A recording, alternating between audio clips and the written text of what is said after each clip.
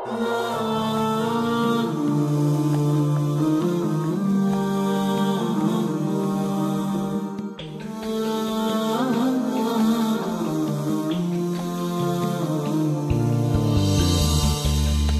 راغبا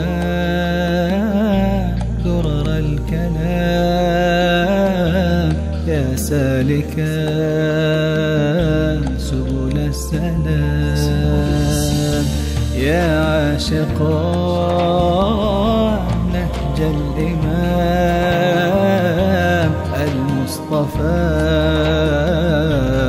بدر التمام.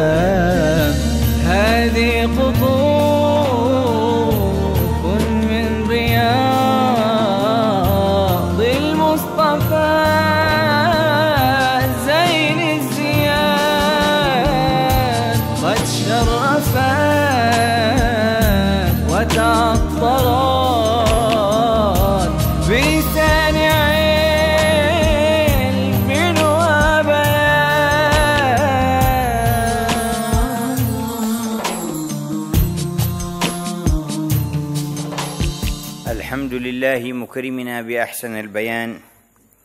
وصلى الله وسلم وبارك على عبده المصطفى المنزل عليه القرآن وعلى آله وصحبه الأعيان وعلى آبائه وإخوانه من الأنبياء والمرسلين وآلهم وصحبهم ومن تبعهم بإحسان. أما بعد فإن مما قص الله تبارك وتعالى علينا في أحسن القصص ما يتعلق بأحوال الناس في هذه الحياة من حيث مراقبتهم للأحداث ونظرتهم إليها وتعاملهم معها ونبه على ما يحصل ممن لم يرسخ في قلبه الإيمان إما ضعيف الإيمان أو المنافق الذي يظهر الإيمان ويبطن الكفر والعياذ بالله تبارك وتعالى.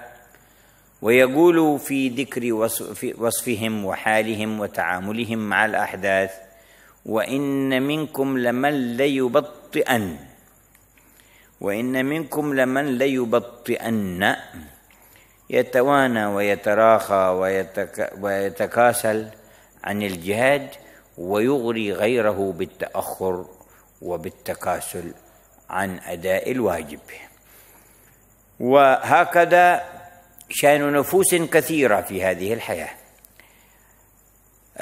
تتأخر عن القيام بالواجبات وتحب أن يتأخر غيرها معها كذلك. وأن تقطع غيرها عن أن يقوم مقام الجد أو يظهر مظهر الصدق والوجه. وإن منكم لمن ليبطئن. فيتراخى عن القيام بكثير من الواجبات فيما يتعلق بالدعوة إلى الله بالجهاد في سبيل الله في الصلح بين الناس في أنواع من الفوائد التي تعود على الأمة. وبعد ذلك يبقى مراقبا للنتائج فهو متكاسل متضبط كحال كثير من المنافقين. وضعفاء المؤمنين الذين إذا كثر الإرجاف والكلام تأثروا وأثر عليهم وربما حاولوا أن يوصلوا ذلك الأثر إلى من سواهم. ويتقصد ذلك أهل النفاق كعبد الله بن أبي وما كان منه مثلا من نماذج عمله تأخره مع جماعة من المنافقين ومن تبعهم من الضعفة في الإيمان في يوم أحد. ورجع بثلاثمائه من الألف الذين خرجوا مع رسول الله صلى الله عليه وعلى آله وصحبه وسلم. وإن منكم لمن ليبطئن. ثم بعد ذلك فإن أصابكم فضل من الله فإن يقول وإن منكم لمن ليبطئن فإن أصابتكم مصيبة. قال قد أنعم الله عليه. فكذلك يقول مثل هذا المنافق وغيره من المنافقين يقول قد أنعم الله علي إذا لم أكن معهم شهيدا. أي إذا نالكم في ظاهر الأمر شيء من الجرح والقتل وما تتعب به الأجساد. فإذا أصابتكم مسلم قال قد أنعم الله علي إذ لم أكن معهم شهيدا. ولهم في ذلك أقاويل. منهم يقول لو أطاعونا ما قتلوا. منهم يقولون لو كان لنا من الأمر شيء ما قتلنا هنا. إلى غير ذلك من الأقاويل المتخيلة الباطلة. آه، رد الحق تبارك وتعالى عليها في كتابه القصد أنه إذا يقص علينا طبيعة الحال التي تتشابه بين أهل الضعف في الإيمان وبين أهل النفاق في مختلف الأزمنة والأحوال. فهناك تراخ وهناك تباطؤ وهناك إغوى للغير وإغرى بالتأخر والتباطي والانصراف عن القيام بكثير من الواجبات. فإذا جاءت النتيجة أنه عند القيام بالواجب تعرضوا لشيء من الشدة أو النكبة آه، وهي أمور. منطوية بالنسبة للمخلصين الصادقين على أجور وعلى مراتب وعلى مواهب من الواهب وعلى درجات يرتقون فيها وعلى منازل يحصلونها وعلى رضوان من الله يتسع لهم فكلها مكاسب وفوائد. لكن هذه الحقائق تغيب عمن لم يتغلغل الإيمان في قلبه وصدره. فلذا وجب أن تصقل مرايا القلوب بنور الإيمان الزاهر الزاهي حتى يصح قيام الميزان على وجهه في النظر إلى الأحداث والوقائع والظروف وما ينال الناس. فهول بمنظارهم أن ما أصاب الناس من الشدة في مثل أحد وغيرها أن ذلك مصيبة وأنهم نجوا إذ لم يحضروا ذلك. وما علموا أنهم من سادة الشهداء الأحياء عند ربهم الذين قال لهم رب السماوات والأرض تمنوا علي ما شئتم. يقول جل جلاله وتعالى في علا وأنهم آه، آه، حصلوا شهادة المصطفى صلى الله عليه وسلم بأنهم الشهداء عند الله يوم القيامة إلى غير ذلك مما آتاهم وأكرمهم الحق جل جلاله وتعالى في علاه وأنت ترى الناس في هذه الحياة عند تحصيل شيء مهم مما يعظم في نفوسهم وأكثره مثل المال مثلا.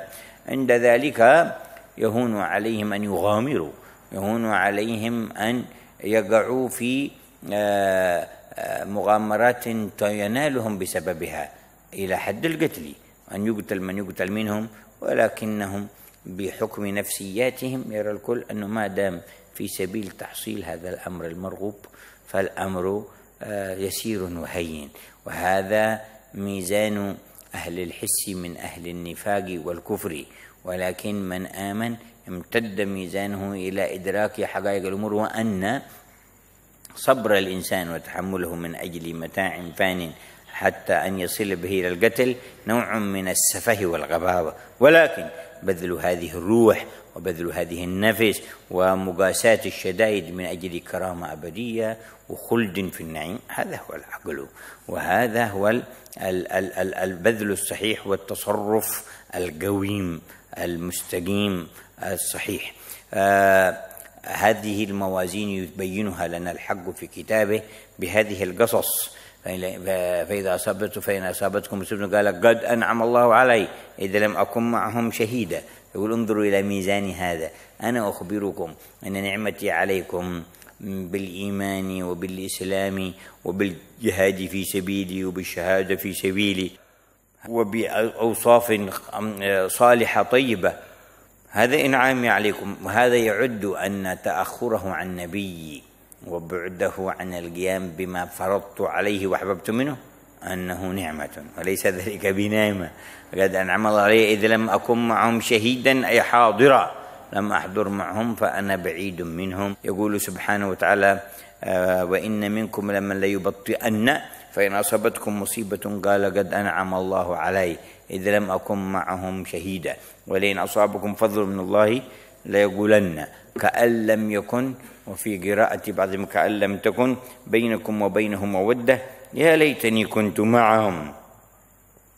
حاضرا فأفوز فوزا عظيما والفوز العظيم في هذا النظر القاصر تحصيل الغنيمة تحصيل المال تحصيل ما فوزا عظيما. هذا هو الفوز عنده وما علم من الذي فاز. ولكن عكس هذا كما رأيت في بعض الصحب الأكرمين ومنهم عمرو بن حرام عليه رضوان الله تعالى إذ قاتله مشرك كافر فجاء من خلفه فأنفذ فيه آه، سهما آه، خرج من دخل من ظهره وخرج من بين ثدييه من صدره فاستلم الدم بيديه فامتلأت يداه دما مما يخرج من جرحه فرمى به يمنى يسرى وهو يقول فزت ورب الكعبة فزت ورب الكعبة.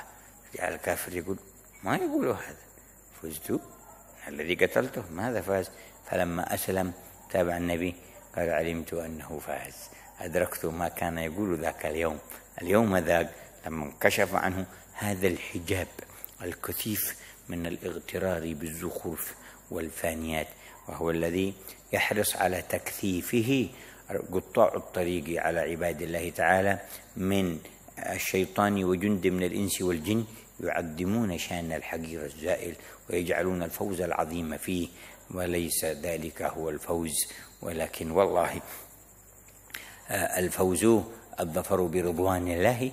ولقد كان صلى الله عليه وسلم إذا بعث سرية يقول لهم ولأن تأتوني بإسلامهم أحب إلي من تأتوني بأموالهم وذراريهم تسبونهم سبايا لأن تأتوني بإسلامهم. هذا هو الفوز يقول لسيدنا علي فوالله لأن يهدي الله بك رجلا واحدا خير لك من حمر. النعم فانظر إلى هذه الموازين. لو قامت على وجهها لما كان هذا السطو وهذا الظلم وما يشتكي منه الناس اليوم مما هو واقع في حياتهم ما دفعهم إليه. وما أوصلهم إليه. ولو استقام هذا الميزان آه، لأغفلت أبواب كثيرة من أبواب اعتداء الناس على بعضهم البعض. يقول سبحانه وتعالى ولئن أصابكم فضل من الله ليقولن كأن لم يكن بينكم وبينه مودة أي لم يجمعكم مكان ولا زمان ولا دين ولا آه، آه، ظرف واحد. يشملكم أجمعين؟ كأن لم يكن بينكم بينهم مودة يا ليتني كنت معهم. فأفوز فوزا عظيما. ماذا؟ آه قرب من الله؟ أم رضوان؟ أم جنة يدخلها؟ مال يحصله وغنيمة يقاسم فيها. فهذا عنده هو الفوز العظيم. ولكن ميزان الفوز في كتاب الله تعالى ومن يطع الله ورسوله ويخشى الله ويتقه فأولئك هم الفائزون. ثم يتصل هذا الفوز بمعنى الفوز الدائم فمن زحزح عن النار وأدخل الجنة فقد فاز فقد فاز. ويقول سبحانه وتعالى آه، ليكفر الله يقول سبحانه وتعالى ليدخل المؤمنات جنات تجري من تحت الأنهار خالدين فيها ويكفر عنهم سيئاتهم. وكان ذلك عند الله فوزا عظيما. وكان ذلك عند الله فوزا عظيما. فعلى أهل الملة أن ينظروا إلى هذا الميزان. أقائم بينهم؟ أم عملت عوامل الإصغاء إلى المرجفين من من الكفار ومن برامجهم؟ فيهم عملا اختل به هذا الميزان عندهم لحقائق الفوز. ما هو الفوز؟ ومن الفائز حقيقة؟ أيها المؤمنون بالله تبارك وتعالى بالقصص الحق نعرف الفوز الحق. والخسران الحق. قل إن الخاسرين الذين خسروا أنفسهم وأهليهم يوم القيامة. ألا ذلك هو الخسران المبين. ألا ذلك هو الخسران المبين. قد خسر الذين كذبوا بلقاء الله. قد خسر الذين كذبوا بلقاء الله. وفاز المؤمنون الموقنون باللقاء إيمانا يحملهم على التهيؤ والاستعداد لذاك اللقاء. آه يقول آه سبحانه وتعالى. آه ليقولن كأن لم يكن بينكم وبينهم مودة يا ليتني كنت معهم فأفوز فوزا عظيما. يقول الحق تبارك وتعالى إذا اتضحت لكم هذه الموازين فليقاتل في سبيل الله الذين يشرون الحياة الدنيا بالآخرة الذين يبيعون الفانية ويأخذون الباقية ثمنا ضخما فثمنا غاليا ثمنا عظيما. فليقاتل في سبيل يشيرون يشيرون أن يبيعون الحياة الدنيا بالآخرة. وذلك أن الفوز محقق لهم في كلا الأمرين. ومن يقاتل في سبيل يقتل أو يغلب فسوف يؤتيه أجرا عظيما. في قراءة فسوف نؤتيه أجرا عظيما. فمن ومن يقاتل في سبيل الله فيقتل أو يغلب فسوف نؤتيه أجرا عظيما. وذلك أن المؤمن الصادق لا يفر لا يفر ولا يهرب عند القتال فيقتل أو يغلب. واحد من الاثنين. ما يمكن أن يفر آه، ويرجع آه، فارا منهزما ولكن فيقتل أو يغلب. وفي كلا الحالين فسوف نؤتيه أجرا عظيما. ويقول سبحانه وتعالى مذكرا بأن الواجبات المشروعة كمثل هذا الجهاد الصافي القائم على الأساس الصحيح في موازين القرآن والسنة الذي لا تحمل عليه آه، الآراء الضيقة ولا يحمل عليه الإرادات الرخيصة الإرادات التافهة التعظيم للفانيات إرادة السلطة ولا إرادة المال ولا إرادة الذكر ولا إرادة المغنم ولا آه، أن يذكر بالشجاعة إلى غير ذلك. هذا الجهاد بوجهه يترتب عليه إبعاد الظلم وإنقاذ إنقاذ المستضعفين فلهذا أتبعها بقوله جل جلاله وما لكم لا تقاتلون في سبيل الله والمستضعفين من الرجال والنساء والولدان ويقول ابن عباس كنت أنا وأمي من المستضعفين أي من الذين مرت عليهم أيام بمكة المكرمة تحت ضغط تلك السطوة من الكافرين على المؤمنين والمستضعفين من الرجال والنساء والولدان وذكر الولدان على وجه الخصوص استبعاثا للعقول وللعواطف أن ترى أن ترك الواجبات كيف يصيب الناس بالظلم وانتهاك الحرمات حتى يتأذى منهم الأطفال ويتأذى منهم الصغار ويكون عليهم ما يكون. فبذلك يعلم أن أن ذلك أمر مستفضع وأن ذلك أمر شنيع عند الفطرة السليمة أن يقتل الأطفال والأبرياء وأن وأنه يجب أن تهب العقول والقلوب والعواطف لنصرة هؤلاء المستضعفين. من الرجال والنساء والولدان الذين يقولون ربنا أخرجنا من هذه القرية الظالم أهلها بالكفر والشرك والذين يؤذون الغير والذين يضايقون السواء والذين آه، يوقعون الأذى بمن آه، خرج عن ظلمهم أو كفرهم وملتهم آه، وخصوصا المستضعفين. يقول من هذه القرية الظالم أهلها واجعل لنا من لدنك وليا واجعل لنا من لدنك نصيرا. وذلك أنه بعد خروج النبي صلى الله عليه وسلم من مكة آه، بقي المستضعفون هناك آه، يؤذون ويريد من يريد منهم أن يهاجر فلا يمكن من الخروج. وهكذا كان الأذى قد نال نال السابقين الأولين من المهاجرين رضي الله تعالى عنهم في مكة والنبي صلى الله عليه وسلم في مكة المكرمة وأمرهم أن يهاجروا إلى الحبشة. فكانت الظروف صعبة مرت عليهم بمكة المكرمة وخرج أكثر المهاجرين بعد ذلك سرا. ويذكر أن سيدنا عمر هو الذي أعلن خروجه للهجرة وقال في مجتمع قريش عند الكعبة إني مهاجر غدا إلى الله سبحانه وتعالى في سبيل الله ورسوله فمن أراد أن تثكله أمه فليلقني في الطريق في المكان الفلاني فأنا أخرج من هذا الطريق. وتوشح سيفه فخرج فلم يتعرض له أحد. وكانوا يحبسون المستضعفين حتى آه، أخروا سيدنا آه، صهيب رضي الله تعالى عنه وما مكنوه من الخروج حتى وجد فرصة ففر فلقيه بعضهم فتخلص منهم بأن يعطيهم جميع ما يملك. وما ترك في مكة مقابل أن يسمحوا له بالخروج فخرج. وجاء فيه ربح البيع أبا يحيى ربح البيع أبا يحيى. فهكذا شأن النظرة في تقويم هذا الميزان من خلال القصص الحق ويجب علينا معشر الأمة عامة. ونحن تمر بنا الأيام ونستقبل المواسم المباركة كرمضان وغيره في خلال العام أن لا نخرج منها إلا بتقويم الموازين من حيث ما قص علينا الحق قصص الحق. نعلم ما هو الفوز وما هي العظمة وكيف نتعامل مع الأحداث فإنها ليست بظواهرها. ويقول سبحانه وتعالى فعسى أن تكرهوا شيئا وهو خير لكم وعسى أن تحبوا شيئا وهو شر لكم. والله يعلم وأنتم لا تعلمون. ألا إن الخير ما هو خير عند الله؟ اجعل وجهتنا يا ربنا إليك واعتمادنا عليك وخذ بأيدينا ونواصينا. أخذ أهل الفضل والكرم عليك. برحمتك يا أرحم الراحمين. والحمد لله رب العالمين.